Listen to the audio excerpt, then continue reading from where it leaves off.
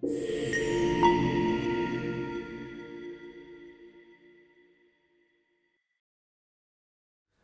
and welcome to Edison TV. In our offices today, we have Erik Manting, CEO of Mendus, and Tariq Mughal, Chief Medical Officer. We're here today to talk about Mendus's refresh strategy for lead candidate vididencel. So, Erik, Tariq, thanks for joining today. Thanks, Aaron. Thank you. Mm-hmm. So, Erik, Mendus recently presented this refresh strategy for vididencel. Could you summarize some of the key takeaways for us from that latest update? Absolutely. Well, I think the most important one, Aaron, is that we've shifted from a narrow focus strategy, which was initially only on uh, AML patients after chemotherapy with an MRD positive status, so patients that were diagnosed with measurable residual disease, uh, which was the same patient population we treated in our uh, phase two, advanced two trial, uh, to a much broader strategy. And uh, that is both in acute myeloid leukemia where we will uh, address the broader uh, post-chemo patient population, independent of MRD status, so MRD positive and MRD negative uh, patients.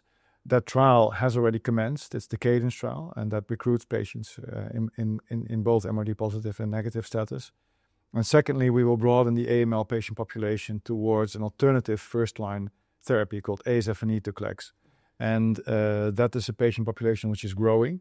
Uh, but that's also in a high need of post remission therapy to basically consolidate the initial uh, treatment success. Um, so that is capturing the broader AML patient population post remission. And secondly, we have decided to explore chronic myeloid leukemia, and we will do that relatively quickly. First, with the phase 1a B trial that will start next year. But uh, after the initial results of that trial, we have also already prepared for a phase 2a trial. Uh, that's a very interesting patient population because it's relatively large, also compared to AML. Uh, CML patients is a, uh, represent a growing part of the myeloid malignancies. Um, but on the patient level, the big medical need there is to basically uh, allow patients to be taken off drugs. So CML is in principle under control with tyrosine kinase inhibitors, and there's Tariq will comment on it, but there's different um, variants of that. Uh, but in the end, uh, these patients have to take drugs lifelong. Uh, whereas with immunotherapy, you can establish uh, immune control over residual disease and allow patients uh, to be taken off drugs successfully. So that is a very uh, high-level summary of our new strategy. But in a nutshell, it means we will much broaden the addressable patient population with vididencel. Excellent. Thanks, Erik. That's a, that's a nice summary. Could you maybe elaborate now on what really drove this refresh strategy and why now? Absolutely. Well, I think two things were important, Aaron. First of all, um, you always have to adapt to changing situations. So when you start a phase one, the world is different when you complete it and you start a phase two. And now we've completed the phase two and the world has changed again. So on the one hand, we were adapting to that already by combining with oral azacitidine, which got approved uh, during our phase two trial, which was a, a, single agent, so monotherapy trial. So the new trial, the Cadence trial that I described, is in combination with oral azacitidine but also other things have changed. So, also, for example, first line treatment of AML is changing with the successful introduction of aza as an alternative for chemotherapy. So, you have to adjust as a company to that changing reality. And the last part of it is that uh, MRD, measurable residual disease, is constantly being monitored uh, in the treatment of AML. It also allows doctors to adjust therapy, for example, if the disease is changing uh, uh, its genetic makeup, and you have to adjust, for example, targeted therapies to specific mutations. So MRD is used in a very dynamic way, but it's not a black and white phenomenon. As I also mentioned in the beginning, also patients without measurable residual disease very often still have residual disease. You just don't detect it. Um, so MRD is not as black and white a criterion as we sometimes hope it to be. Uh, which means that it's also maybe not the best inclusion criterion for uh, a phase three registration trial. So with the new strategy, we've now adapted not only to the changing first-line landscape, but also to the more dynamic use of MRD, and we don't exclude patients on MRD status. That is, I think, the most important driver. Uh, CML uh, was uh, driven by two things. First of all, we got a lot of feedback from the medical scientific community from doctors wanting to treat patients with CML with this product because it allows them, hopefully, to have more successful treatment free remissions. But also, and very importantly, uh, Tariq Mughal joined us as, uh, as chief medical uh, in May. And uh, yeah, Tariq, of course, was uh, on the one hand bringing a lot of uh, hemato-oncological experience, which allowed us to have much more access to key opinion leaders and industry that is relevant in making this kind of strategy choices. uh, but also he has a very long and deep background in chronic myeloid leukemia. So it also helped us to shape up our strategy to enter CML as an indication. Fantastic. So, our first question for you, Tariq, is with these refresh plans, could you maybe talk about how this might expand the opportunity for vididencel, specifically in the AML space? Yeah, so um, just to recap, the uh, so AML overall still remains a deadly disease. Um, despite all the uh, advances we've made um, in the different therapies, targeting the vulnerabilities which are driving the leukemic cell, the overall survival uh, remains quite poor at five years, including for those who are eligible for stem cell transplant, and this is despite the improvements in allogeneic stem cell transplant. So the uh, at Mendus, the, uh, the the initial AML study, um, uh, the Cadence trial, uh, which is ongoing, um, is looking at a particular cohort of patients who have achieved a complete remission following uh, in, intensive chemotherapy, but they continue to have a what we call measurable residual disease um, or not. Measurable residual disease simply means uh, no evidence of disease using routine morphological detection.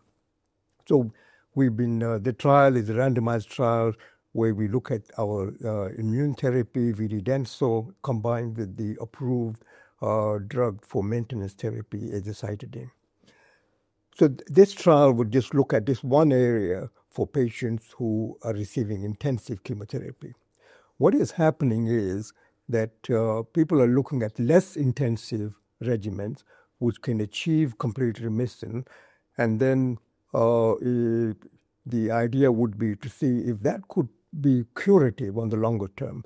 Because at the present time, the standard of care for the less intensive is, is, is two uh, targeted drugs, venetoclax and azacitidine, but they are not curative. So therapy has to be continued until patient continue to progress. So we are developing this novel trial on the notion that this will enhance the activity of these two drugs.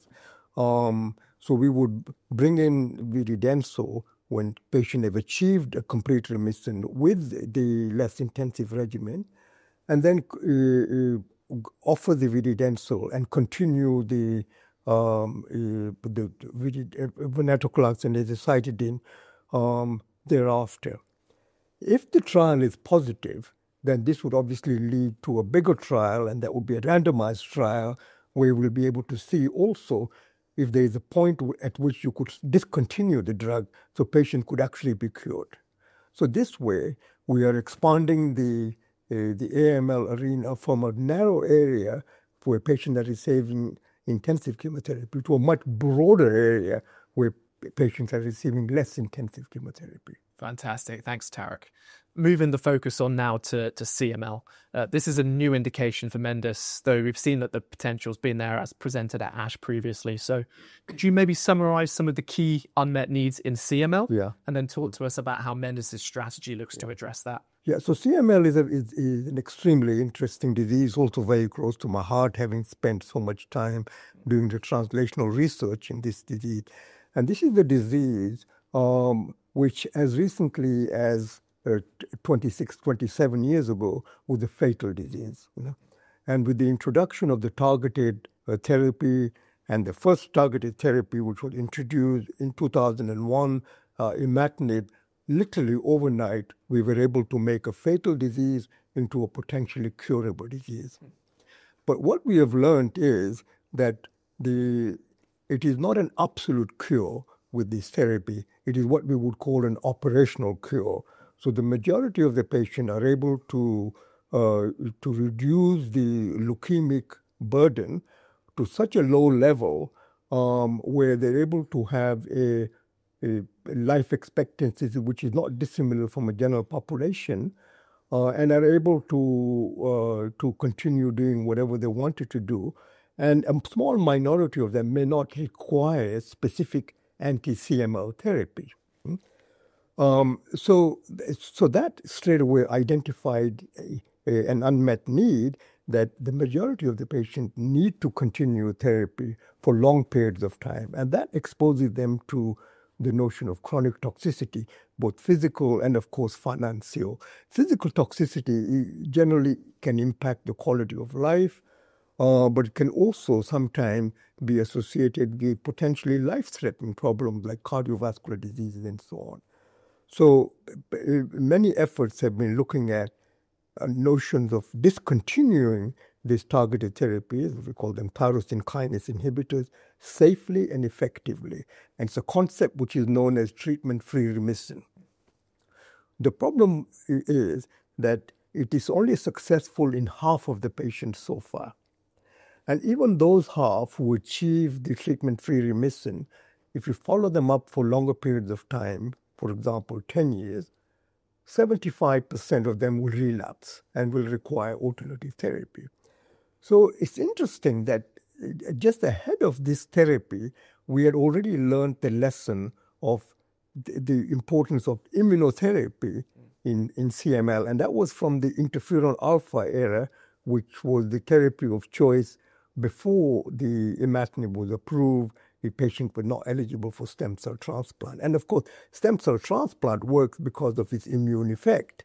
So people have been looking at ways of how do you optimize the delivery of treatment-free remission, and then how do you maintain that once you have uh, achieved it? So this is where we come in. So we uh, we have designed two studies. First is of course to test the safety of vididencel mm uh, in CML, and that will be first in human. Uh, and then if, if there are no problems with that, we will also look at the efficacy signal to see it, if it had the potential to impact the treatment-free remission.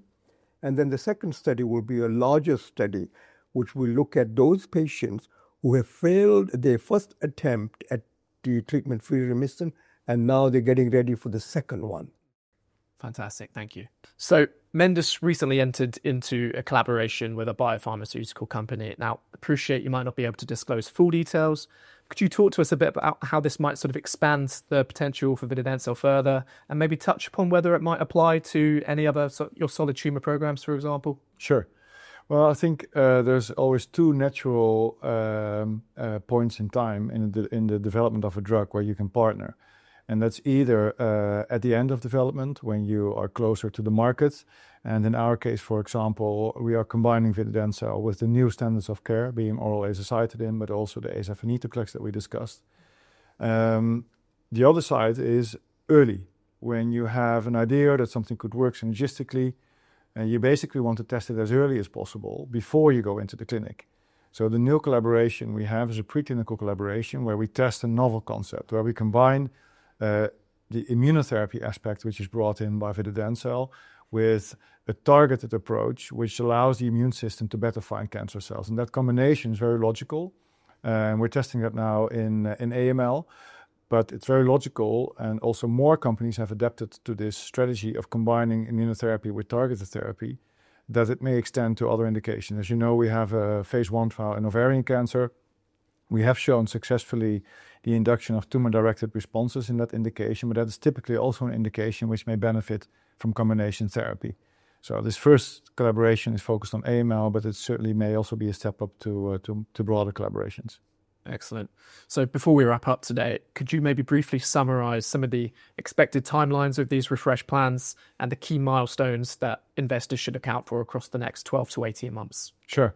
Let's focus on the on the updated strategy, which is around the myeloid malignancies. So on the one hand, we have an ongoing trial, and that is recruiting nicely, which is also what we disclosed uh, with the press release some weeks ago. Uh, it's a trial that's being run in Australia, uh, led by a professor called Andrew Wei. Um, it's a very important trial because this is the first time we have the broader patient population, both MRD positive and MRD negative, in combination with azacitidine.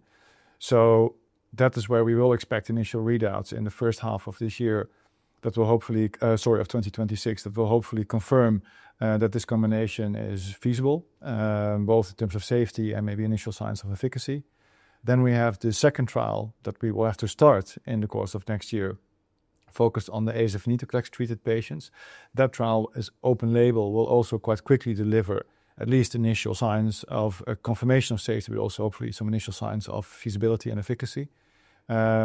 In chronic myeloid leukemia, we of course enter into a new indication. And first and foremost, it's always most important to establish safety. So the first in human data will come from the first part of a phase 1AB trial, so from the first 1A part of that trial. Uh, and we'll have to show safety and hopefully also some initial signs of, uh, of efficacy.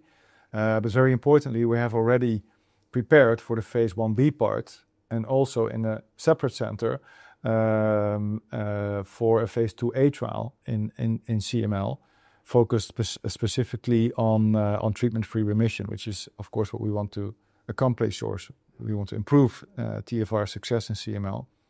The first in human data we also expect already in the first half of next year, and that will then also allow us to move forward in CML. So I think there's quite a lot of milestones already in the course of next year that will very explicitly you know, support our, uh, our development strategy in myeloid malignancies, and those are the main ones to look forward to. Excellent. That's all the time we have today. But if our audience would like to learn more, please refer to the content we have freely accessible at edisongroup.com. Thank you again for the time. Thanks, Aaron.